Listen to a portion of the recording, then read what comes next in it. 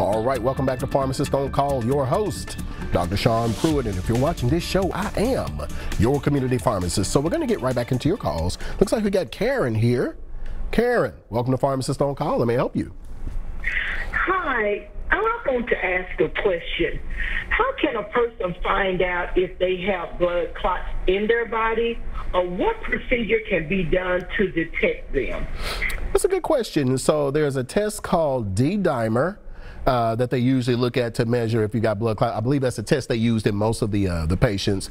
But we can also look at how thick your blood is, and that is those two tests are called PT and INR. What they measure is how quickly your blood is clotting or how intensely your blood is clotting. So you can look at uh, PT INR and D dimer. PTR PT is one test. INR is another test and then D dimer is another test. Thank you. I am going to check with my doctor and see if I can get those ordered. Absolutely. Yes, ma'am. Thank you. All right. Thank you. All right. Bye bye. Good question, by the way. We'll, we'll get into that blood clotting and all of that. Tim, welcome to Pharmacist on Call. I may help you. Hello. Yes, sir. Tim, I may help you. Yeah. I want to deliver medicine. To deliver medicine to homes. Really? Are you asking, do we deliver medication? Yeah, yeah. We do. Where do you live? I live in Nashville. Uh, what area? What is it? What is it? Uh, huh? Yeah, Davis County. Hello? What's your zip Davis code? County. What's zip code? Zip code? Three three seven oh? Three seven two oh seven. Yeah, that's the zip code where the well one of the pharmacies is. So yes, we deliver to that area. Give us a call. Give us a call tomorrow, and uh, you can schedule delivery with us.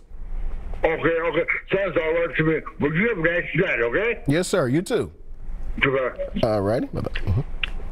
All right, so those who didn't understand, Tim was calling to see if we deliver in 37207, which we do. We deliver citywide from Hendersonville all the way out to Antioch, Cane Ridge, all of that. So, yeah, we do deliver. Uh, if your uh, medications are at another pharmacy, we can transfer it and then deliver to you that way as well. All right, so I think we were talking about uh, COVID 19 and manifestations. So, uh, you think about the heart, and then you get blood clots, and you had a lot of people, particularly in the African American community, uh, that we were passing away from strokes, from heart attacks, and from heart failure, and that is because uh, of the amount of blood clots that were developing and the inflammation in the heart. So I don't think at that point we understood the importance of using uh, blood thinners, excuse me, or using uh, uh, corticosteroids to decrease that inflammation. I think now we understand that. So we're going to see what are the risk factors. What makes me more likely to get it than somebody else? So the first thing we need to understand that there are different strains and they behave differently. So the one in China, we'll, we'll get back to that. We're going to talk about risk factors here. All right, so we got Cheryl here. Cheryl, welcome to Pharmacist on Call. I may help you. Hi, how are you? Pretty good. How are you? I'm doing okay, thank you. I have a question about um, are you? Ma'am? Yes, do you have information on uh, eye drops? Uh, which one pa- one is uh, Lumigan and Alphagan. Lumigan? Yeah, those are used for um, not cataract, something glaucoma. I'm sorry. Yes, ma'am. But we do carry those. to- Go ahead. I wanted to know they're extremely expensive for someone who doesn't have insurance. Do you all sell those at a lower cost? Do you know? Because of the price, I have one patient that does get it cash. Uh, it depends on whether you're getting the 0.15 or the 0.2. Uh, one of those I can do really good on, but I think I don't think one's gone generic. I think the Alphagan P is still brand only. Give me a call at the pharmacy tomorrow. Let me know which one you're on, and I'll see what the lowest price is that I can give you. Oh, okay. Thank you so much. Yes, ma'am. All right, thank you. Good call. All right. Thanks. Bye bye. All right. bye bye. Okay, let's see here. Pharmacist on call, let me help you. Hello? Hello. Yes, sir. May I help you? Welcome to Pharmacist on Call. Yeah, I got a question about blood pressure. Okay. I'm on 50 milligrams of carvedilol a day, 40 milligrams of lisinopril a day, and 25 milligrams of hydrochlorothiazide a day, and it's still not controlling my blood pressure. Did you say 50 milligrams of carvedilol? Yeah. You're taking 225s? that's right. Okay. Okay, so are we doing anything like drinking coffee or stimulant drinks? I have one cup in the morning. That's it. Okay. When did did you have that one cup on your last doctor's visit? No, Okay. What are your pressure what does your pressure normally run? Normally, when I wake up in the morning, they say that I'm one of those weird people that my blood pressure goes up overnight. So it'll be somewhere around 180 over 125. At night? And that's after, exactly. And that's after taking the medicine. So does it go down like later in the morning? Yes. It sounds like you're a slow metabolizer of that drug. Well, what I would recommend for you is this right here. And that is our good buddy beetroot juice. Now, what it does, what I didn't hear you say is that you were on something that was like a vasodilator, which is something that will open up your blood vessels and, you know, kind of bring the blood pressure down that way. Uh, this works pretty quickly, by the way. So it gets your blood pressure down in about maybe an hour or so. So I would do maybe, since yours is up a little bit, maybe two capfuls of this uh, first thing in the morning. And actually, you may want to add it on before you go to bed, too, to help keep your pressure a little low at night. Uh, but this is what I would recommend to you. Uh, there's some other things that your doctor could probably try. Um, man, that carvedilol. It's pretty strong. Yeah, yeah. I've never. I, it act- has been up to like uh, 210 over 188, and this is after taking the medicine.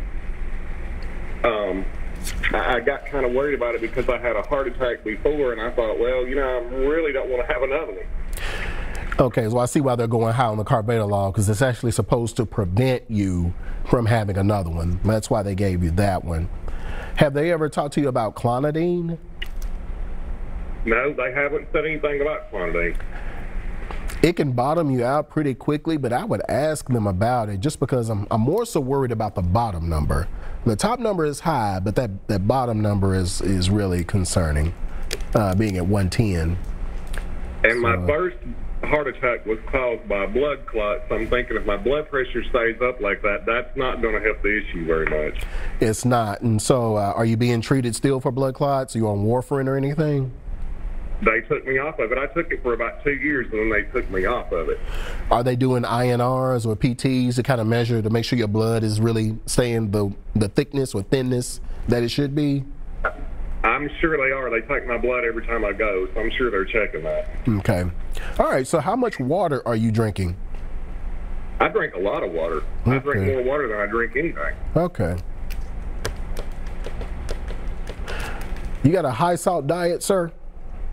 No, I, I only eat salt and whatever whatever's in it. I don't eat a lot of like really salty foods anyway. Do you eat uh, like a lot of processed foods because those come naturally with a lot of salt? No, Okay. So not a lot I of think hamburger helper and stuff like that. no, we don't eat a lot of that. No. Okay. Okay. Yeah, I would recommend this beetroot juice and let's see how that does you.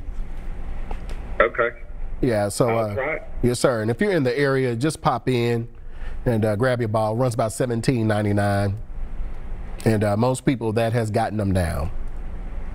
What, where uh, where's your pharmacy located? Oh, we're gonna kidnap you and hold you hostage. You have to wait till the end of the show to find out where we're located, and we'll flash your address and everything on the screen. All right. All right, yes, sir. Thank you. All righty, bye bye. Okay, pharmacist on call. Let me help you. Pharmacist on call. Let me help you. Pharmacist on call, let me help you. And can I get you to turn your TV down too, please? Can I get you to turn your TV down too, please? Can I get you to turn your TV down too, please? Can I get you to turn your TV down too, please? Okay. All right, we'll catch you next go round there. Okay. Elizabeth, welcome to Pharmacist on Call. How you doing?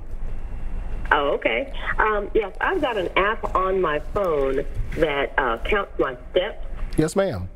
And uh, it doesn't seem to be quite accurate. And I was just wondering if there's um, if those like the smart watches are more accurate. And I'll hang up and listen to your answer. Ask your question again, please. Okay, I've got an app, an application on my phone Okay. that counts my steps. Uh-huh. You know, it's a step count, uh, how far I've walked. Yes, ma'am. and I can watch it while I'm walking, and it doesn't seem like the numbers are the same as the number of steps I'm walking. So if I get like a smart watch instead of holding my phone when I walk, do you think that that the watch would count the steps more accurately? And I'll hang up and listen to your answer. Okay. All right. Well, thank you for your call. Uh, I, I would just have to go from the experience of my youngest brother and my older sister, and they swear by those smartwatches. Uh, Fitbits, I believe, is what they call them. And they swear by those things. And not only does it give you the amount of steps, it tells you what your heart rate is. It tells you what your heart rate was three hours ago. Uh, so you can know what, what your blood pressure or your heart was doing while you were at work or on the elevator. So I would probably, just for functionality, yeah, I'd probably go with the smartwatch. It's probably a, a better bet than the phone. And let's see here. We're going to go with uh, Tom. Welcome to Pharmacist on Call. Let me help you. Hello, Tom. Hello. Yes, sir. How can we help you? Oh, hey, uh, I enjoy your program. Uh, I'm 73 years old and uh, I'm urinating all the time. I mean, uh, you know what I mean? Get up 50 times a night. Okay. A lot of times can't make it. Now, a long time ago, I call it the dark ages, you could buy this stuff called Saw Palmetto, and that stuff worked great. But this was a long time ago. Uh, I just wondered if there's anything over the counter that would help with this. Yes, there is something that we sell from the Dark Ages called Saw Palmetto that would help you with that. Uh, but the other thing I would add on, since you're talking about the frequency, is maybe um, pumpkin seed oil because you've got a couple of things going on. You've got your prostate, which is not letting you fully empty out your bladder. And then you've got your bladder, which is really contracting. So we want to slow it down with pumpkin seed oil and then allow you to use the bathroom fully uh, so you don't have to get up, you know, those five, six, seven, eight times. You follow me? Yeah, a lot of times I can't even make it. Now, uh, is is this Saw Palmetto that you sell? I mean, uh, uh, is it is it does it work? Is it good Saw Palmetto? I saw a thing on the television about this stuff isn't regulated, and a lot of times it wasn't even real Saw Palmetto. When I said I had it before, it was the Dark Ages, and that stuff worked. you know? Yeah, absolutely. Uh, yeah, so yeah, ours does work. I, I take it myself. It greatly reduces uh, the amount of times that you do get up in uh, the middle of the night to pee. So yeah, I will stand by what we carry. Uh, the other thing is some of the big box chains. Uh, there's a little question about their stuff actually having the active ingredient in it. Right. But yeah, right. yeah ours Uh, does. Okay, and uh, where where are you located? Ah, good question. You are going to have to watch the rest of the show, and the producer is going to put the address up there. Oh, okay, okay. Yes, sir. Well, I, I I really appreciate it, and I enjoy your program immensely. Thank you. I appreciate you watching. okay, thank you very much. Yes, sir. All right. Thank you. All right, everyone, stay right there. We will be right back. We're up on another break.